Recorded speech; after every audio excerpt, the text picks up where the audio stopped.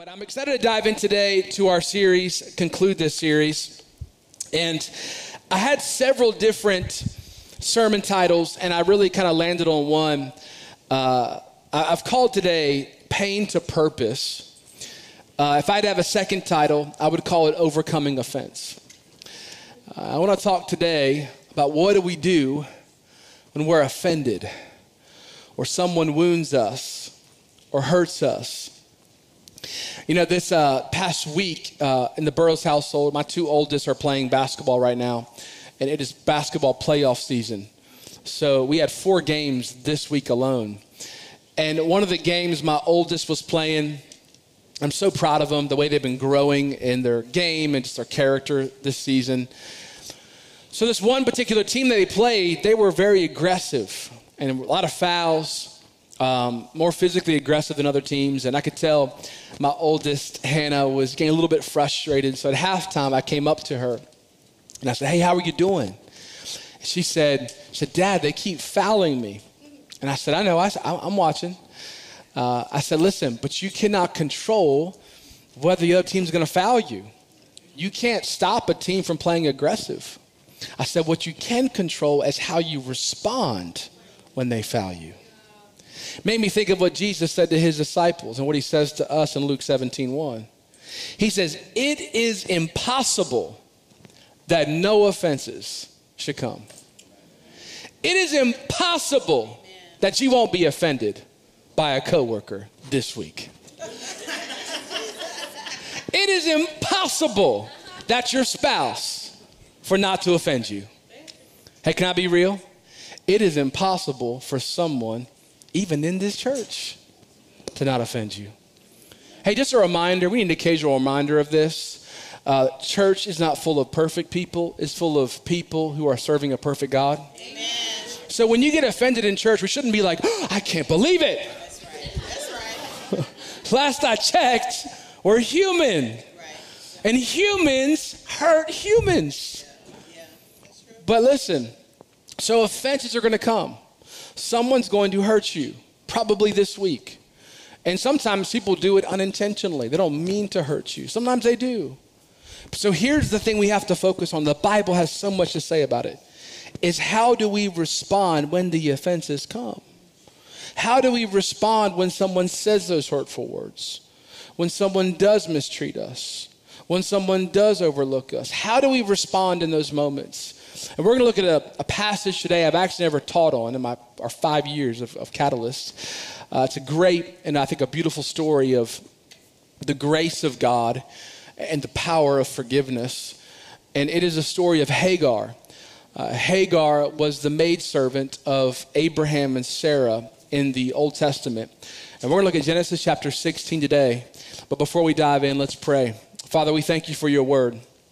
It's a lamp unto our feet and a light to our path. And God, today we just submit ourselves to your word today. And we thank you, Lord, that you have something to say to us um, about this area of overcoming offense. In Jesus' name, amen. Uh, let me give context Genesis 16, real quick.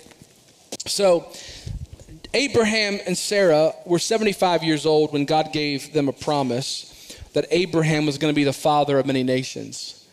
Uh, may I remind you that no matter how old you are, if you have breath in your lungs, God has a purpose for your life. In fact, you may retire from a career, but there's no retiring from God's purposes. May I even say this? I think actually in your latter years, you are actually best equipped to do the most for the kingdom of God because you have the wisdom of life behind you. So at 75 years old, God tells Abraham, hey, hey, player, I'm not done with you yet.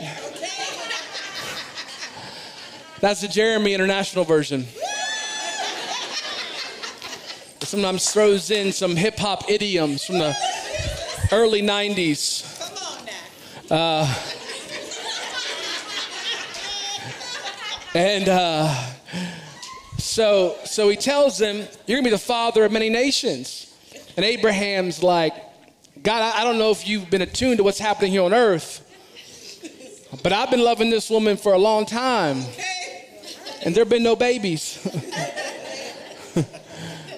and she's been barren. So they, they trust God.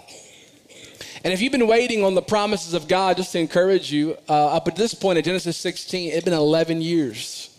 They were 86. Let me also give you context. Sometimes you can read the Bible and think, oh, well, 75 then is not the same as 75 now. Yes, it was. They were AARP card carrying members, my friends. It, 75 is 75, okay? Don't be like, well, 75 was like 25 back. No, it was 75. 75. Abraham had back pain. I don't know. But at 86, um, Sarah, by the way, in this scripture, it's going to refer to Sarah as Sarai, and Abraham as Abram, because that was their names then. It was changed later to Abraham and Sarah, which we most uh, of you know them that way. But at 86, Sarah's get a little impatient. Anybody ever get impatient with God? You're like, come on now, Jesus, okay? I've been waiting here. You know how hard it is on this earth? We got smartphones now, Jesus. Come on now. Um, and so she says, Abraham, I can't have a baby. Why don't you sleep with my maidservant Hagar? Now, if Abraham, you know, I kind of read this around, I'm like, come on now, Abraham. You had your shot to prove your love for Sarah and been like, no, my love. I only have eyes for you. Listen, if you didn't if you didn't think the Bible was spicy, you need to read your Bible. This actually happened. This actually happened. Some of y'all watch movies for some spiciness. Y'all need to read your Bible. Sarah said, "Go ahead and have a side chick." And Abraham's like, should have been like, "No, my love," but he was like, "All right." It's like, "Come on, man. That was your chance, Abraham. You fumbled the ball." So he, he sleeps with, with Hagar. This is really in the Bible. Yes. And Hagar gets pregnant. First time. Yep. And the Bible says when she conceives, she begins to despise Sarah. Let me tell you why. Let me tell you why. Yes. Because under law, this was under law, if a maidservant had a baby, that baby was now to the person who she served. So she's despising her because she's like, I now have to carry this child for nine months and give this baby to Sarah. And the Bible says that then Sarah began to mistreat her. So in Genesis 16, what happens is, is, is Hagar flees. She runs away. Because, in, in, in, a sense, to, she's clearly offended, and understandably. Can we just call this for what it is? It's traumatic. Like, she's like, she takes advantage of Hagar, her and Abraham, and then they mistreat her even more. And, and she's running now away. And that's what we're going to pick up in Genesis 16, uh, verse 7. The scripture it says this. Let me give you context. She's now running away from, they were in Canaan. Most scholars presume she was going to Egypt, where she was from. Hagar was Egyptian. Uh, many believe she was actually given as a servant to Abraham and Sarah from Pharaoh. So she's going back to Egypt, more than likely where her family was from. And it says this The angel of the Lord found Hagar near a spring in the desert. It was a spring that's beside the road to Shur. And he said, Hagar, slave of Sarai, where have you come from and where are you going? I'm running away from my mistress Sarai. Then the angel said, Go back to your mistress and submit to her. The angel added, I will increase your descendants so much, they will be too numerous to count. If, you don't, if you're not familiar with that, that promise that the angel gave her, by the way, this is the first time an angel in the Hebrew means messenger of the Lord. Um, this is the first time that a messenger from God ever appeared to anyone in the scriptures physically. This is what's called, the, in, in theological terms, this is a theophany. It's a physical manifestation of God first time ever in the scriptures happens to Hagar. I love the fact that the first person that God shows up to is somebody who feels outcasted and neglected and overlooked. Don't you love our God? He didn't show up at the palace and said, Where's the most powerful people? He came to the one who is powerless, the one who had no social or economic capital. And he came after Hagar. And he, he meets her in this moment. And there's three things that we see that, that, that Hagar does, really through the help of this messenger. um, that really helps her to move from being in this place of pain and offense to walking in forgiveness and seeing God's purpose of her son Ishmael come to pass. Here's the first point, the first application that we get from this is that in order for us to move from pain to purpose, we have to turn to God for healing. We have to turn to God for healing.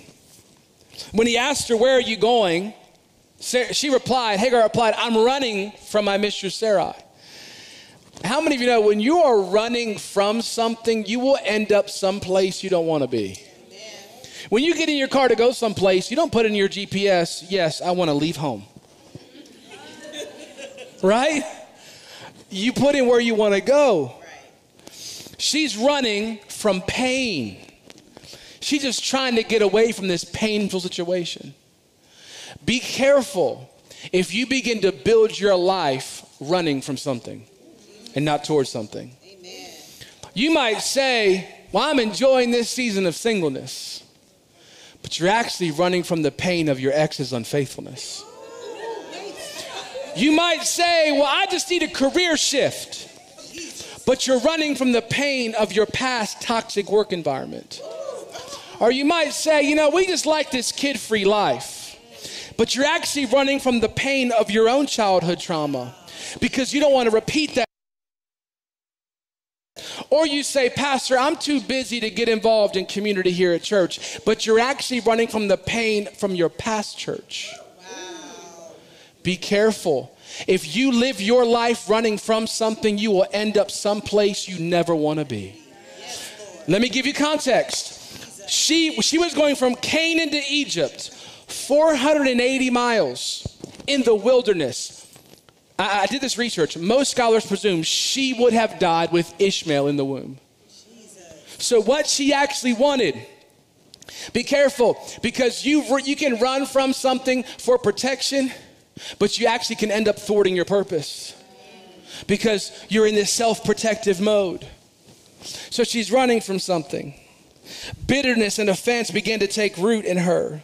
Job 21 25 says, Another, another dies in bitterness of soul, never have enjoyed anything good. An offended heart gives birth to a bitter heart. Yeah. And bitterness is like a poison. I was talking to a gentleman who's, who'd worked in pest control for over 30 years. And he was laying these, uh, these kind of bait stations of, of, of mice, mouse poison uh, that we have outside of our home. And uh, while I was talking to him, I had asked him about, like, you know, why do mice kind of come in? I'm always intrigued of, like, when they're there, I ask them all kinds of questions. And he said, now I'm sorry for what I'm about to share with you, um, but he said, every house has mice. 33 years he's been doing this. He said every house. He pointed every house in my neighborhood. He said every one of these houses have mice. They just maybe haven't seen them yet. Is they find places in your house because during the winter and the summer, sorry, I won't go any further. They they find they find more shelter. So they come in. So fall and spring, they're outside. Winter, summer, they come in. So he said, um, so I said, well, tell me about these, these, these bait stations. Why, does, why do mice um, come and eat the poison? He said, well, it, sm- it smells like and tastes like peanut butter and chocolate. Fair enough. Come on. I mean, who doesn't want that? A little peanut butter and Nutella. I was like, done. And, uh, but catch this. So he said, he said, he said, um, the way the poison is designed, this was fascinating. He said, doesn't, it doesn't kill them upon first ingestion. So usually when they come in, he said, the bait station, they eat it, they ingest it. And then actually mice, the way their cheeks are formed, they store it. So they bring them to store and they bring it back and they give it to their nest. He says, he says, then they come back to it because it tasted good. It felt good initially. Just like it feels good initially to be offended, doesn't it? I can't believe they did that to me. And they come back, they get another bite, they store some more. He says it's a little while after the second ingestion, it kills them.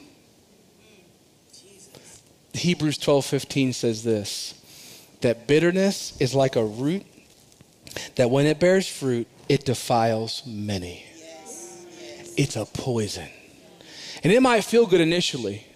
I can't believe how my boss treated me. Can you believe they did that to me?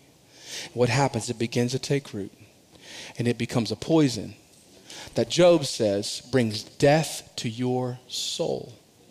In fact, the Journal of Religion and Health in 2022 found that bitterness is associated with a host of negative consequences, including increased stress, depression, anxiety, and suppression of immune system. If that's not evidence of it being a poison, I don't know what else is. So be careful. In fact, John Bevere, a Christian author, calls offense the bait of Satan. It's a bait. And it feels good upon first bite, right? I can't believe they did that to me. They're so wrong. And then it ends up eroding and eating away at our souls. So, what do we do? Well, in verse 11, the angel of the Lord tells Hagar that you are to name your son Ishmael, which means God hears. For the Lord has heard your cry of distress. Hagar then used another name to refer to the Lord, verse 13. She said, You are the God who sees me. That means you're a God who looks out for me. You're a God who cares for me. Hagar cried out to the Lord in distress. A few weeks ago, I picked up my children from school, and I usually ask my kids when I pick them up, one of the first things is, How was your day? I love to hear about how their day went and their classes and their friends and their teachers. So one of my children, their response was, I said, How was your day? He says, Fine. It's fine. I said, Okay. I said, Doesn't sound fine. And they said, I want to talk about it. I said, I respect that. I respect that. We get home and some moments pass and they come into the kitchen to grab a snack and I said, Hey, dad would love to hear about your day and they end up telling me what happened. And long story short, someone in their classroom had said some hurtful things to them. And we processed that pain, that offense. And over the course of the conversation, I could almost see the distress begin to dissipate as they processed their distress. And what we see here with Hagar, as we see in this moment, is she, she cries out to the Lord in her distress.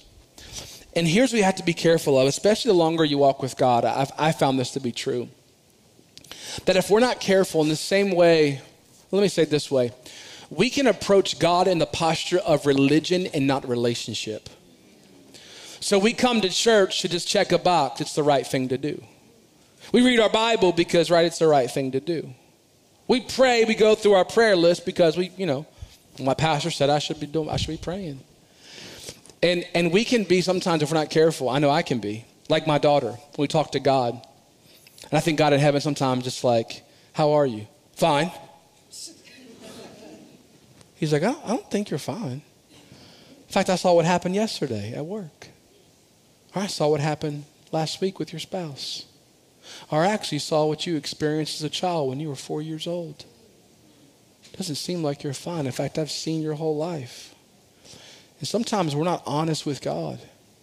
Sometimes one of the most helpful prayers you can pray is not giving your petitions to God, but just being honest with God. Like, when's the last time you were honest with God, like really honest with God? 1 Peter 5 7 says this that we can actually give our worries and cares because he cares for us. What did Hagar call God? He's the God who looks out for me, He's the God who cares for me. Harvard uh, published a study in 2021. They did a meta analysis, and they found over 200 uh, studies done that shown the it was statistically significant benefit of a clinical treatment called expressive writing for people who had experienced trauma. There was one study in 2019 done that looked at a six week intervention of expressive writing uh, for patients who had met the criteria for clinical depression in the DSM 5. And what they did was they instructed them for these six weeks to write about their traumatic experiences, um, to process their thoughts, the details, the feelings that they experienced. And after six weeks, they found that for, for all the patients, there was a decrease in perceived stress, an increase of resilience. And catch this 35% of the participants who went into the study with clinical depression no longer met the criteria for clinical depression.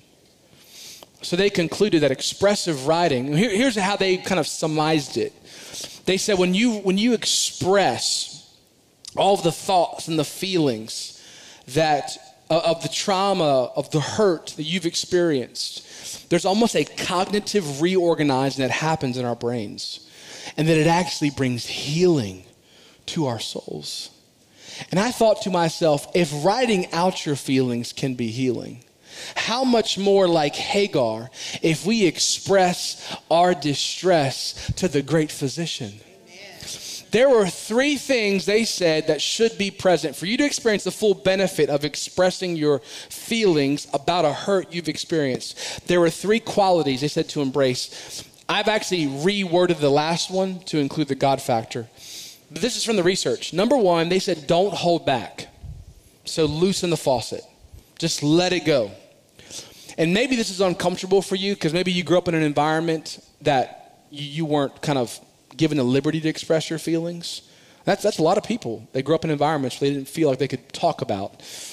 And here's the best way you can grow in expressing what happened to you is just to begin to express what happened to you. And what you're going to find is this. Have you ever had like a thread on a shirt and you begin to pull it? And the next thing you know, you got like 12 feet of thread and you're like, oh, half your sleeve's gone. Here's what you'll find if you're new to this that your emotions are very similar. You begin to pull that thread. Next thing you know, you're like, wow, I didn't know. I felt all that. I didn't know how hurtful that was when my spouse did that or when my dad did that. You begin expressing. Number two is you fully express, this is from the research, your thoughts and feelings.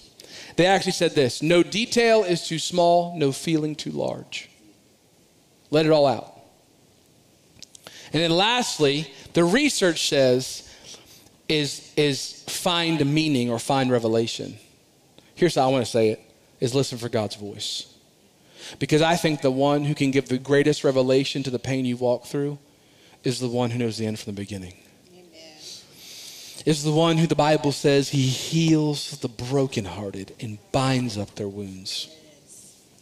So maybe this week for you, is, is when you go on your prayer time, before you jump into your prayer list or what you need, just, just kind of begin talking to God about what's happening on the inside of you.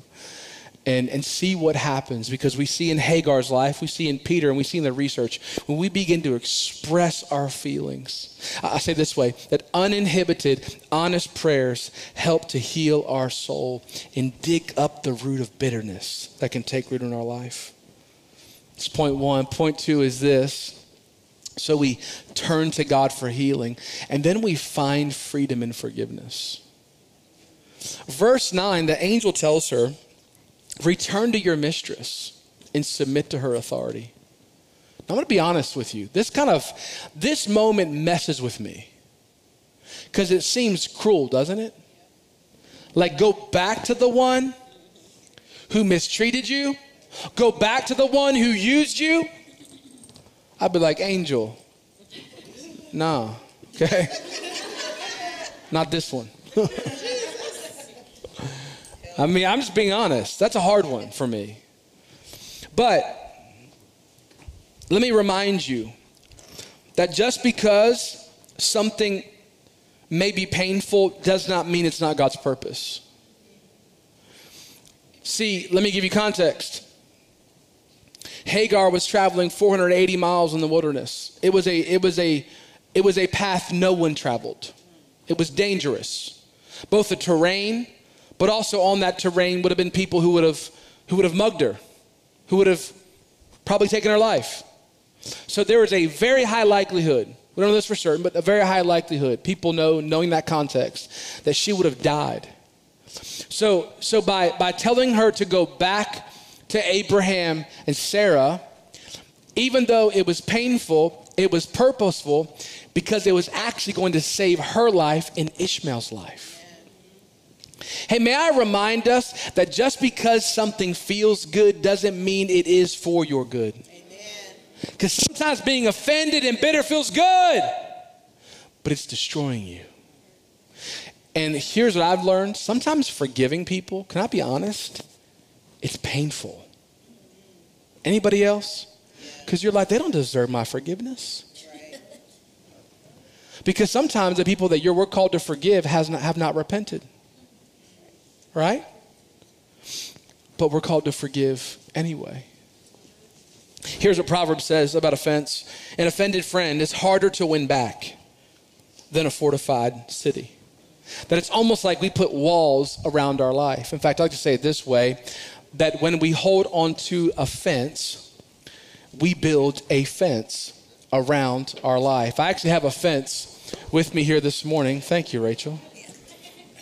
The only time your pastor ever goes to Home Depot is for message props. Pray for Christina. I was very upfront when we got married. Just listen, I don't know what Home Depot is. Uh, but here's what happens when we hold on to a fence is we build a fence, the Bible says. And here's what happens is we think we built this fence. You built that fence after that last relationship because of your ex's unfaithfulness. You built it to protect you, but it's actually keeping you from the very relationship with you want because now you no longer trust men. You built a fence after that last job and you think I'm going to protect my no no boss is going to take advantage from me but it's actually keeping you from taking a step of faith to experience the career of your dreams. Be careful because when we build a fence we think we're protecting ourselves but we're actually preventing ourselves from walking in the purposes that God has for us See, we build a fence around our heart because of our childhood trauma. And what it's actually holding us back is actually the, the family of our dreams. May I remind us, as John Bevere says, that offense is the bait of Satan. And here's what I've found I'm just going to speak from my own personal experience in pastoring people. The enemy will often attack you and produce pain in your life in places that are actually part of God's purpose for your life. Because he sees that, listen, if, if, if, if I can withhold them, from stepping out in faith in that business, if I can stop them from trusting men in relationship, then I can thwart the purpose of God in their life. So, what we must do is we must release offense and tear down our fence. Yes so that we can experience the purpose that God has for us. Thank you, Rachel. So we have to release the offense. What's releasing the offense look like? Releasing offense is forgiveness. I love what Corrie ten Boom says. If you know her story, she had to forgive some people. She says to forgive is to set a prisoner free and discover the prisoner was you. Let that sink in. Many of us are walking around imprisoned, and we wonder why I'm not walking in the full purpose that's in my heart. Because we're imprisoned by offense. And the key to unlock that prison is forgiveness. Peter said to Jesus in Matthew 18, Lord, how often will my brother sin against me and I forgive him? As many as seven times. Now, watch this. Let me give you context. It was Jewish custom that you forgive someone only three times. The fourth time, you can punch them in the face. Come on. Some of y'all wish it was the same today. Come on. Bring it back, Jesus. Three times, grace lifted. So Peter's like showing off. He's like elbowing John, watch this. Jesus, what about seven times? See, I'm his favorite. and Jesus says, I don't say seven times, 77 times. Like, can you say that again, Jesus? I think you said 77. That sounds crazy. In other words, you never stop forgiving. My son is eight years old, and in his basketball league, there are a lot of fouls, a lot of offenses. I mean, you got kids running with a basketball like it's football. Uh, ain't no two steps. It's like eight steps of the hoop. It's like, you know, uh, it's like you, you see it's like fouls everywhere. I mean, it's a little bit of mix of like basketball, football on the court. It's kind of like eight year old boys just colliding. Um, and a lot of the times the refs overlook a lot because they're like, there's so much. If they've caught everything, it'd be like blowing the whistle every few seconds and the games would be seven hours. so we all just kind of watch a little bit of organized chaos. But after a while, like after your 17th travel, the ref starts calling it. Like after your like 12th time that you like swatted someone's arms and they went up for a basket, then they start calling it. It's almost like after a while the grace lifts. And sometimes in our humanity, we can be that way with people. It's like in marriage, here's what I found. In marriage, a lot of times, you have grace for your spouse in that first year, or two years, or three years. Then also that grace lifts. And you're all offended because you asked your husband to take the trash out, and he didn't take the trash out when you wanted him to take the trash out. Are you all up in arms because you told her the kind of oatmeal you like at the grocery store, but that didn't get the kind of oatmeal? And next thing you know, you're all offended because he forgot to take the trash out at 7 p.m. and he took it at 802, 802 p.m. Come on, you've been there. And next thing you know, your blood pressure skyrocketed over trash. Or at work. Come on, you get a new job and you're like in that grace period the first six months. Oh, it's wonderful. I love my new job. Six months in, when your coworker does not respond to your email in 24 hours, you are heated. You're like, Did you get that email? You forward it back. See below.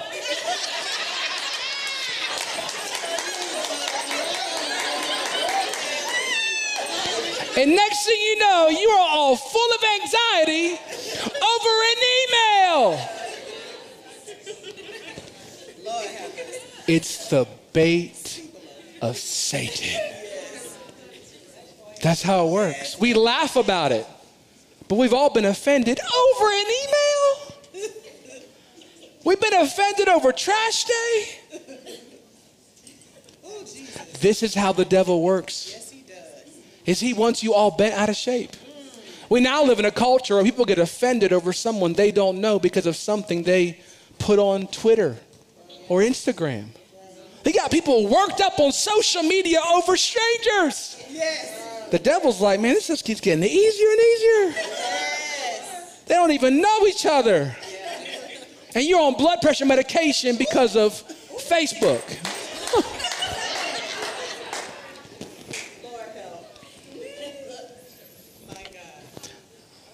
so, so Pastor, but listen, we're human. So the grace will naturally lift. When he misses trash that 12th time, it's hard to keep grace. When that person, it's been, it's been now, it's been now 72 hours no response to that email. And you forwarded three times. And they're in the cubicle next to you. Are you peeking over? Send. You hear the ding. Hey, I heard the ding. Check your email. So what do we do? Here's what, here's what Paul said in Colossians 3. He says, he says, uh, make allowance for each other's faults and forgive anyone who offends you. Watch this. Remember, the Lord forgave you, so you must forgive others. If you ever have a hard time, and listen, I'm, I'm a work in progress, so don't look at me. I, I like I've made, I, have been there. And he, here's what, what Paul's saying helps us. Whenever we find ourselves having a hard time having grace for people, is remember the grace that God has for you. That every time you had a, a mishandled word you spoke that hurt somebody, God forgave you. Every time you had a lustful thought, God forgave you. Every time you had a self righteous moment and you judged that coworker who did not reply to your email, God forgave you. And, it, and when we live in the grace of the forgiveness of Christ, that He has forgiven us of all of our sins, it empowers us to forgive others. Let me give you real briefly though, because I think a lot of times there's some there's some a lack of clarity around forgiveness, what forgiveness is and what forgiveness is not. Forgiveness is not number one forgetfulness. In fact, I don't think that's helpful to forget, because I think it's important that we understand that this is part of the history of a relationship. But it doesn't mean we'll get to this that I don't hold it over them, but I don't forget about it. Number two, it's not condemnation. We don't condone it or brush it under the rug. Here's how I've heard people do that. Maybe it was your mother's emotional absence when you were young, that there was offense. And, and I've heard people say, well, you know what? My mom didn't know any better. What you're doing is condoning it, you're brushing it under the rug. Or, you know what? My spouse has a lot on his shoulders, and that's why he, he said those hurtful words. Here, listen, a mentor once told me this. Said, Jeremy, you can never fully forgive someone until you appropriated blame. Until we say they were wrong. And regardless of what someone's carrying, I teach my kids this. It doesn't give us a right to offend people. We don't just say, hey, well, because I'm having a bad day, just take it. No, no, no. So we gotta, we don't condone it. And then listen, number three is forgiveness is not reconciliation. Now, if it's possible to reconcile, we should. If the person who offended you has repented, it is God's best for there to be reconciliation. If the offense is not too severe, because sometimes the offenses are so severe and significant, there's just no way to, to, and that's okay. They're not the same thing. Here's what forgiveness is number one, forgiveness is a choice, not a feeling. You may never feel like forgiving that person. Number two, forgiveness is releasing offense. You're not condoning it, you're not forgetting it, but you are no longer holding it against them. And then lastly, is forgiveness is beneficial. Harvard Health in 2021 found forgiveness is associated with lower levels of depression, anxiety, and higher self esteem and greater life satisfaction. It is for your benefit. It is for your benefit. Let me just say one last thing. I'll move to point three in closing. Is that if we really think about it, and I'm really saying this really in love because I've been here. So I'm not saying as somebody who has conquered this, I'm, I'm a work in progress. But when we are unwilling to forgive someone else, it is perhaps one of the most prideful things that we could ever do. Because God has forgiven you of so much. And think about this a lot of times we are offended at somebody and they don't even know. You been there?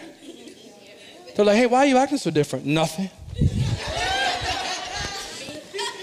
why you why you why are you mean mugging me right now? no reason. Hey, on a side note, can we be loving and gracious enough to have conversations with the person who offended us? The Bible says when actually you go sideways to other people, it's called gossip, which is a sin. Go to God, it's getting real quiet in this church. And go to that person.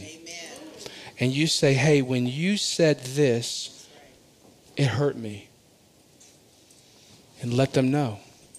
And be a loving and gracious adult. And, and give them the opportunity to repent. Is that okay?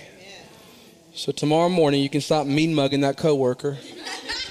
or when you go home, stop mean mugging your spouse and have a conversation. All right. Number three, number three, my last one, is then we have to remember my God given purpose. So he remind, she, the, the, the angel reminded Hagar, says, You are now pregnant, and you will give birth to a son. You shall name him Ishmael. He, he reminds her of the promise of God, he reminds her of the purpose. Again, as I said earlier, when you are running from pain, it will more than likely lead you running away from your purpose. Rarely running away from pain with offense and bitterness will put you in the center of the will of God. Quite the opposite. But as she, as, as Hagar allowed God to heal her and uproot bitterness, as she returns to Sarah and she releases in forgiveness, she gives birth to Ishmael which is part of her purpose. And you, if you know the scripture, a lot happens with Ishmael. And the promise that was given to Abraham is now given to, to Hagar and to Ishmael. You know, here in the DC area, I don't know where you're watching online, but we are about a few weeks to a month away from what I like to affectionately call devil's dust season. Pollen. You know pollen is from hell, okay? I know it falls from the trees, but I think that it's, it's, not, it's not right. It's not right. Like yellow powder. If you're new to this area, get ready. Your eyes will itch, your nose will stuff. You're like, oh, do I have the flu? No, just all this yellow stuff. Your car looks like Big Bird. Here's the worst part about pollen it doesn't like wipe off your car easily. Like you do windshield wiper fluid and it smears it. So you're driving and you're like, I can't see. Like, it's terrible. It's terrible. The pollen blurs your vision. And watch this if you if you remain offended, the pain of offense will blur your vision. Because in that moment, she wasn't thinking about Ishmael. She wasn't thinking about her purpose. She was running from pain. And listen, if you're running from the pain of that last relationship, you aren't thinking about what God's called you to in a relationship. If you're running from the pain of that last career, you're not thinking about what God's actually called you to for your career. Ephesians 1:18, this is a message translation, it's a paraphrase.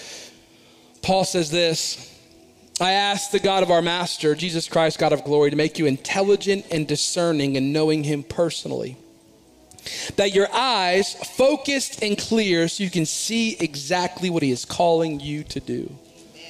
I love that. That God will open your eyes so you can see what he's calling you to. Hey, listen.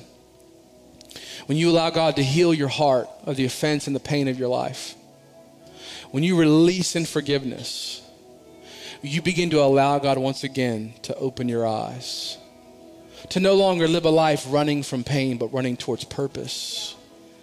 In fact, Jeremiah 29, uh, 29 11, many of you, maybe you grew up and you saw this framed in your grandma's house. or that Christian bookstore on a paperweight. Um, and it says, a lot of times we, we read the scripture, but we don't have the context.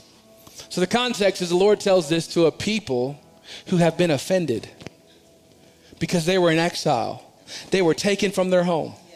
I'd be offended if it took me from my home. And God tells them this For I know the plans I have for you, declare the Lord. Plans to prosper you, not to harm you, and plans to give you a hope and a future. God says, Listen, don't let the pain of this moment distract you from the purpose and the plan that I have for you. And I'm here to declare this morning that for some of you is that once again, you need to pick up again the plan that God has for your life. That you need to remember the call that God has for you. Maybe you've been living in the pain of that relationship, but you need to remember what God's called you to in that marriage, what God's called you to in your career, what God's called you to in writing that book, in launching that business in raising those kids, in living in this area. Don't allow the pain of offense to blur your vision but rather take hold of the purpose that God has for you because His plans are to prosper you. His plans are to give you a hope and a future. And your past and your pain will not define you in Jesus' name. But you have to allow God to heal your heart you then have to release offense so that you can walk in your purpose. Let me pray with you, church. Bow your heads.